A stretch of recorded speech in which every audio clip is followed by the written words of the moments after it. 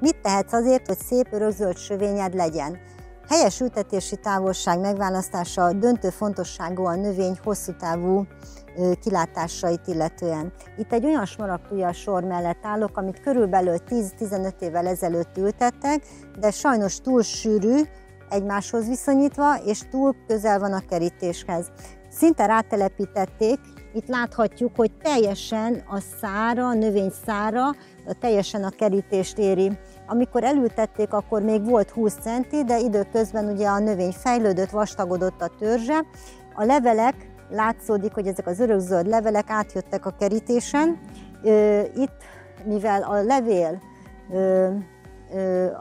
az öreg levelek eltákarítása a tuja sorból akadályozott, mert ugye ezeket ki kellene szedegetni időnként, az elhalt részeket, ugyanis a tujákon is előfordulnak az, hogy idős levelek elbarnulnak, elszáradnak, ezeket kézzel kiszoktuk takarítani, hogy a tuja belseje szép levegős legyen.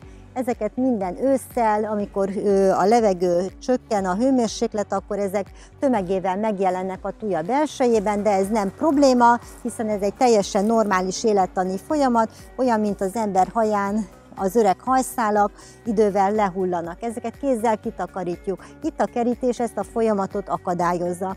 Ez az egyik probléma.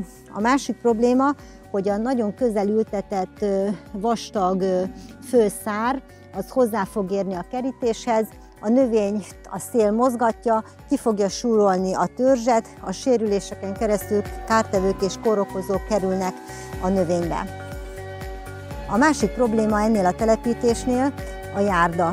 Túl közel van a növény a járdához, alig van élettere. Amikor eltelepítették, a földlabda szélessége körülbelül 40 cm lehetett, és ez elegendő volt, mert egy 40-50 centis sávot hagytak neki.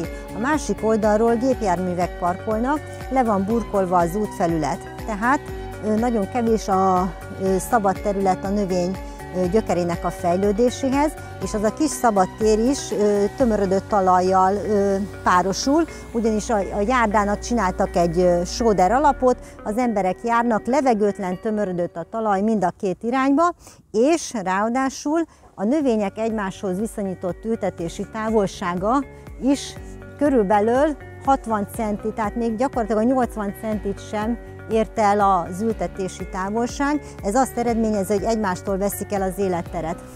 Eddig nagyjából normálisan fejlődtek a növények, viszonylag jó kondícióban vannak, de ezek még nőni fognak, egyre magasabbak lesznek, egyre több vízre volna szükségük, amit nem fog biztosítani ez a korlátozott élettér. Ez ellen úgy tudunk védekezni, hogy falaktól, kerítéstől távolabb ültetjük a növényeket, nagyobb tőtávolságot hagyunk, egy-másfél méter is lehet a növénytől, és nagyobb szabad területet hagyunk a burkolt felületektől. Illetve csöpögtető öntözéssel vagy rendszeres locsolóval való öntözéssel nagyobb vízadagokat biztosítunk a növénynek, hogyha ilyen szűk életteret hagytunk a számukra.